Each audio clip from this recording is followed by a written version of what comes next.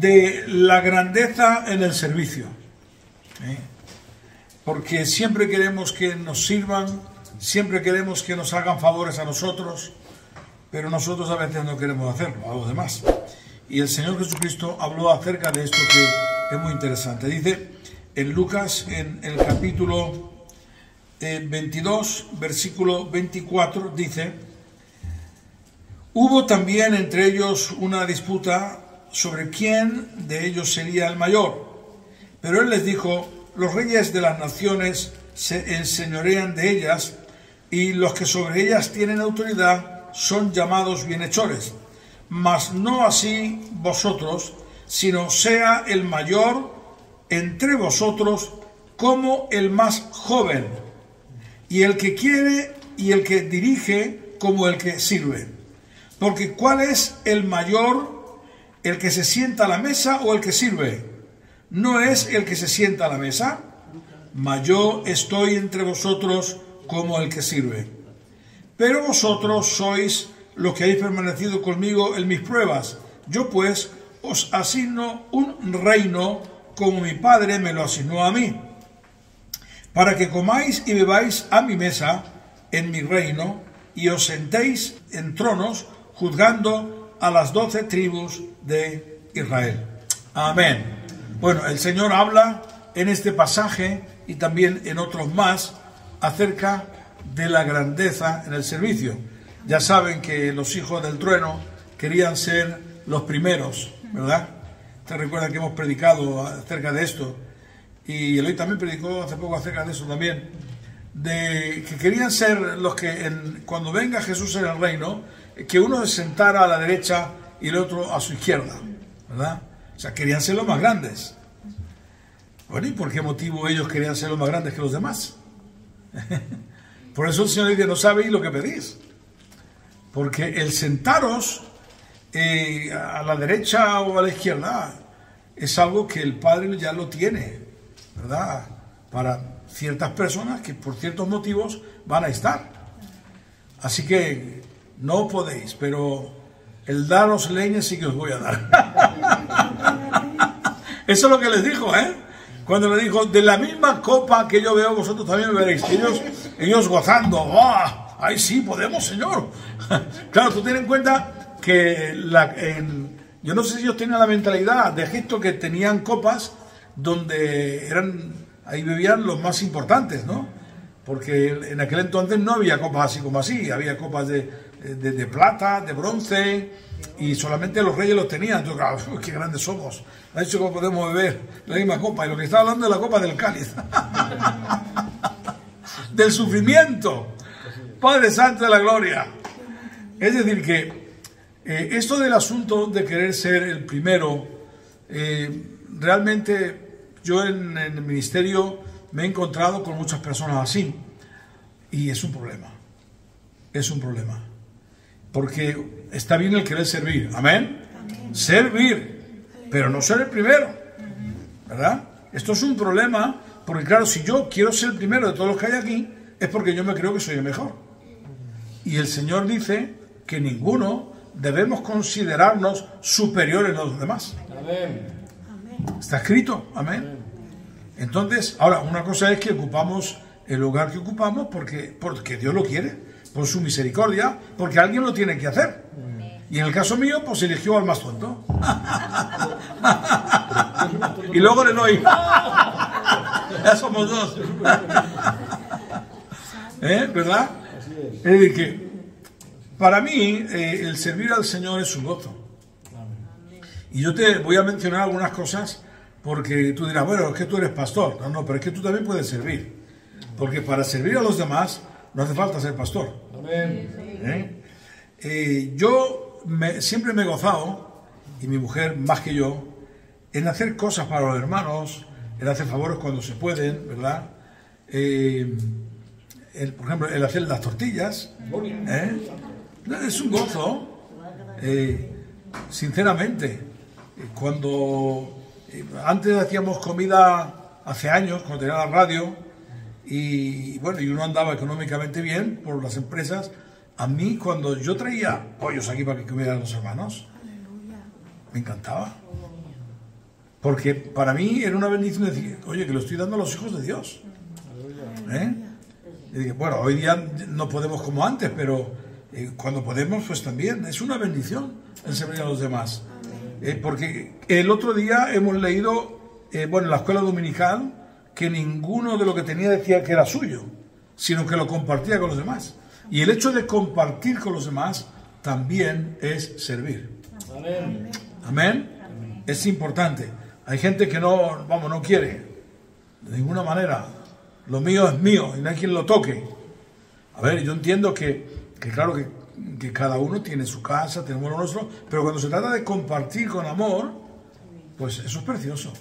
Y eso es servir. Amén. Amén. Así que eh, lo que está diciendo aquí el Señor es que los discípulos, ellos querían saber, ¿verdad? ¿Quién, quién sería el mayor?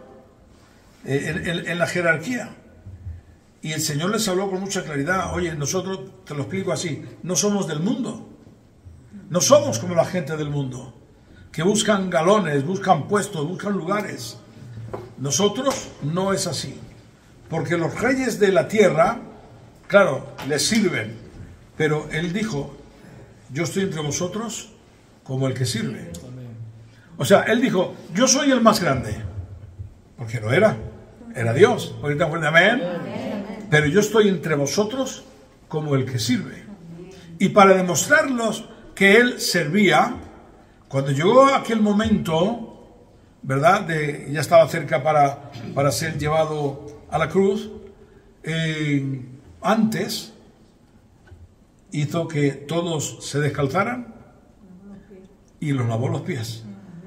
Y entonces les dijo que, oye, yo he hecho esto con vosotros, hacedlo vosotros también. Ahora, hay muchas iglesias que tienen costumbre de lavar los pies unos a otros. Pero ese no es el significado que el Señor quería, quería enseñar. Ahora le explicaré. Recuerdo siempre, siempre recuerdo a mi hermano Chiqui, que está con el Señor, eh, un gitanico que pegaba ahí arriba. Y le llamaban Chiqui, pero, pero, pero altísimo. Y recuerdo que él tenía, era pleno verano, el Madrid con unas calores que te asabas. Y había tenido un problema con un hermanito. Y el hermanito, para hacer ver que se reconciliaba con él, pues quería lavarle los pies al chiqui. En pleno verano, con el sudor que había. Si le ves al hermano con la palancana detrás del chiqui y el chiqui corriendo, hermano que no, hermano que, sí, que te lavo los pies, que te lavo los pies. y el otro corriendo con las ansias de la muerte. Claro, estaba sudado. Pero ¿cómo que va a hacer este hermano? Pero el Señor, cuando está hablando acerca de esto, eh, no significa que uno tenga que lavar los pies, no es la enseñanza que quiere dar el Señor, sino que lo que el Señor quiere enseñar es que nos sirvamos los unos a los otros, nos amemos los unos a los otros y que seamos tan humildes, ¿verdad? Que no nos creamos que estamos por encima de nadie. Así que si Él era el Señor y lo hizo, y le dice, ¿cuánto más vosotros tenéis que lavar los pies los unos a los otros? En el sentido de no dañarnos. Amén. Porque de nada sirve lavar los pies a una persona y luego le, quito los cachos, ¿verdad? Le critico, le murmuro, en fin, etcétera. No, está hablando acerca de nuestro comportamiento, cómo tiene que ser entre nosotros. Tiene que ser un comportamiento de amor, de bondad, ¿verdad? Que nos amamos, no queremos el mal el uno por el otro, no me creo que soy el más grande. Amén. Esto, esto es importante, esto es lo que está hablando.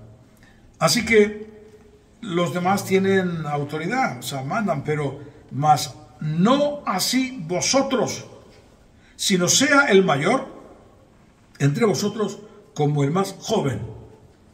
Es decir, el que se crea que es el más inteligente, sea como más joven, en el sentido de que no se crea que tiene más conocimiento que los demás. Eso es el significado que quiere decir. O sea, que no me crea que soy el más sabio en mi propia opinión. En mi propia opinión. Cuando yo tenga una opinión, tiene que estar basada, yo puedo como persona libre creer lo que crea, pero eh, yo tengo que estar basado siempre en la Biblia, la palabra de Dios. ¿eh? No basado en mi propia opinión, en lo que yo creo que es mejor o que yo me crea que eh, soy mejor que tú, tengo más sabiduría, me creo más listo y yo creo que los demás son tontos.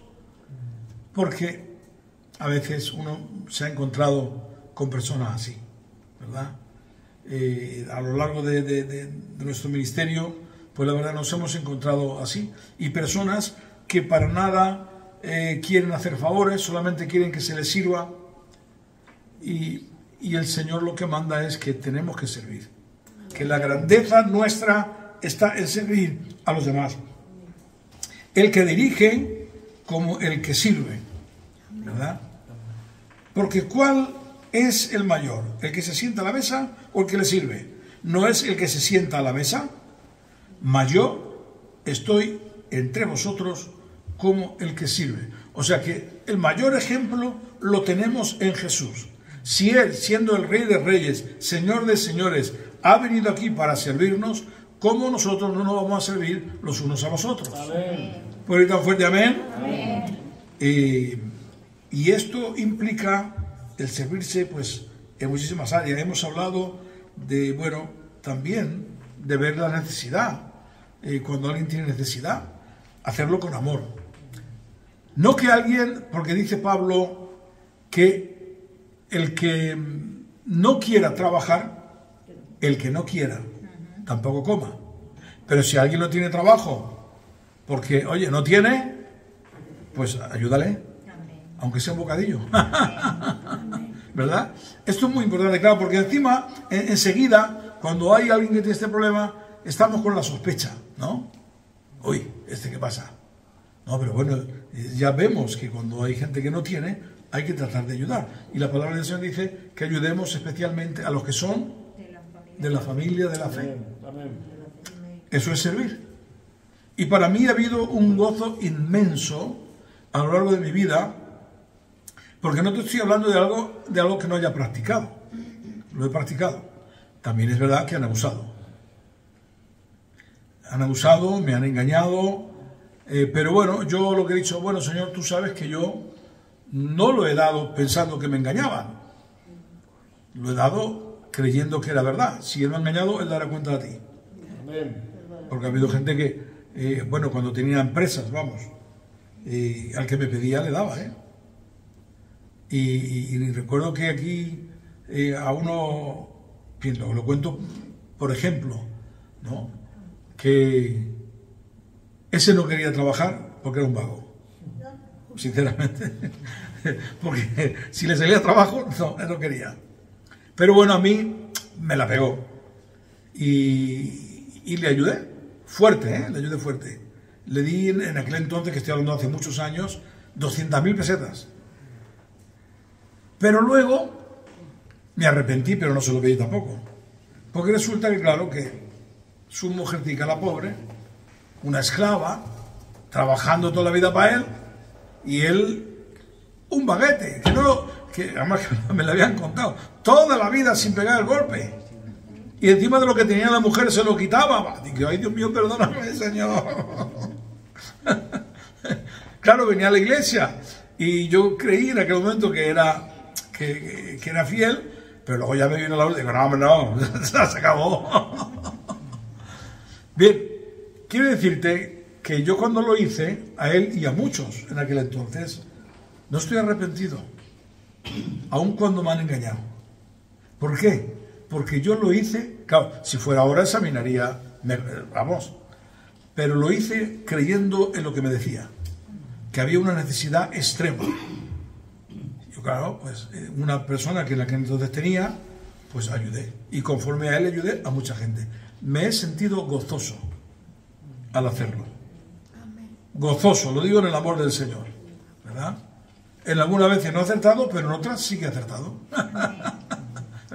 y lo he hecho con amor. No, esto yo jamás lo he contado. Esto no, no, no, no lo he dicho a nadie, es la primera vez que lo digo aquí. Ha habido a otra mucha gente que le ha ayudado, pero bueno, en el caso de este, es la primera vez que lo cuento. Y, nunca lo he dicho a nadie, pero lo digo ahora por ejemplo, ¿no? Porque el dar para Dios, cuando tú ayudas a un hermano, está, dice que el que al pobre da, a Jehová, y Dios lo devuelve Pero yo nunca he dado para que Dios me devuelva, pero Dios me la ha devuelto. Un aplauso al Señor.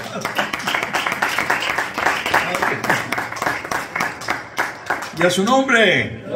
Así que yo he sentido gozo. Mira, sentía un gozo enorme al principio. Estoy hablando de esto ya de, yo era jovencito.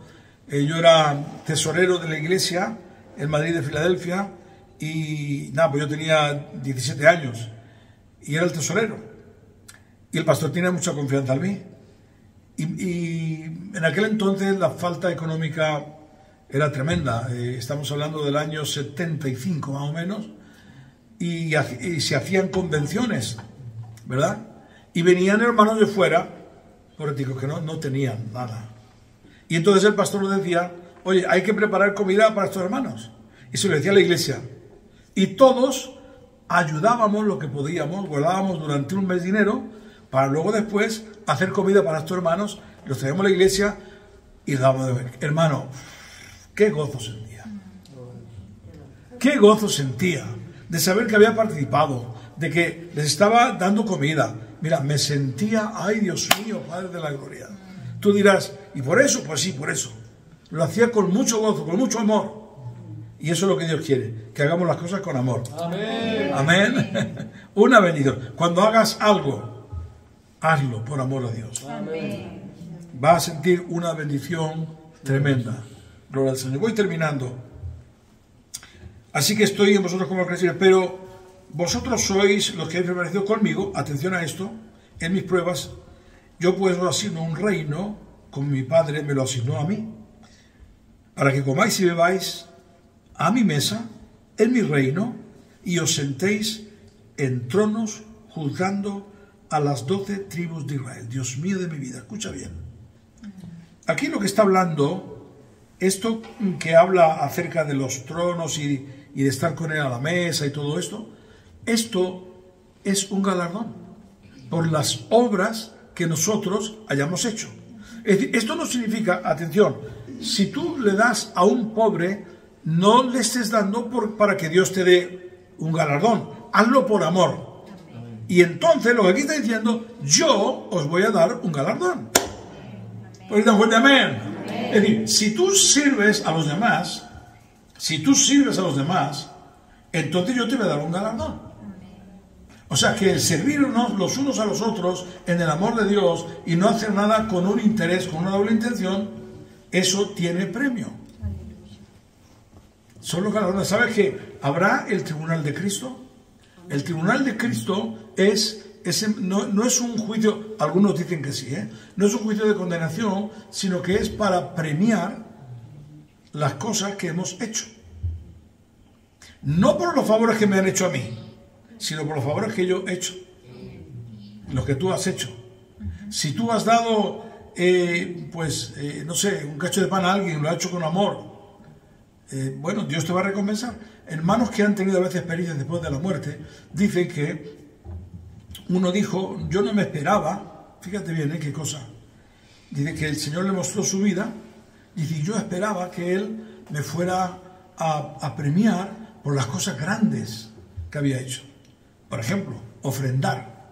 Da una ofrenda grande, que tenemos que ofrendar, amén. Y pero claro, él esperaba.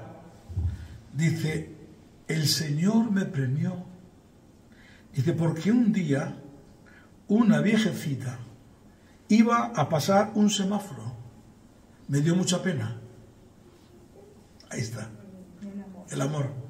Dice, entonces agarré a esta mujer y la pasé con mucho cariño, mucho amor. Y el Señor me dice que me iba a premiar por eso. Ay, Dios mío de mi vida, Señor. Jesús la cadena. Gloria al nombre del Señor. Qué tremendo es Dios. Amén. Cosas así que hacemos con amor, la actitud, ¿verdad?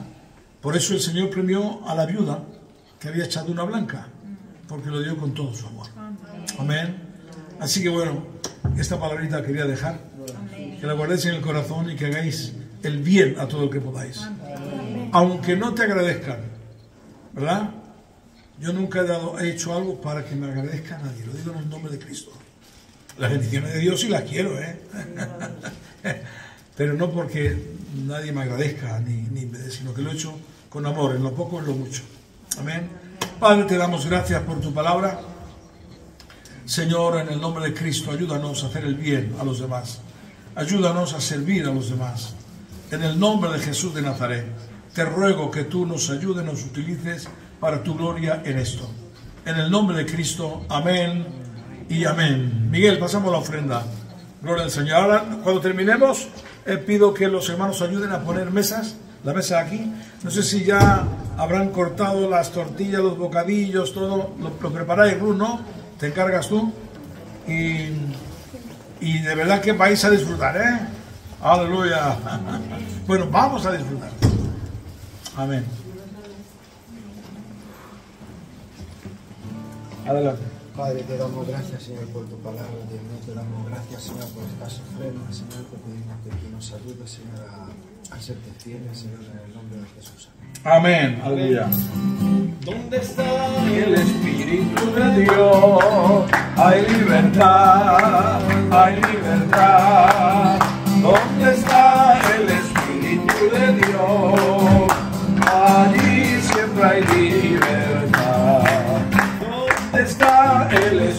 De Dios? Hay libertad, hay libertad. ¿Dónde está el Espíritu de Dios? Allí siempre hay libertad. Hay libertad, hay libertad, hay libertad, hay libertad. ¿Dónde está el Espíritu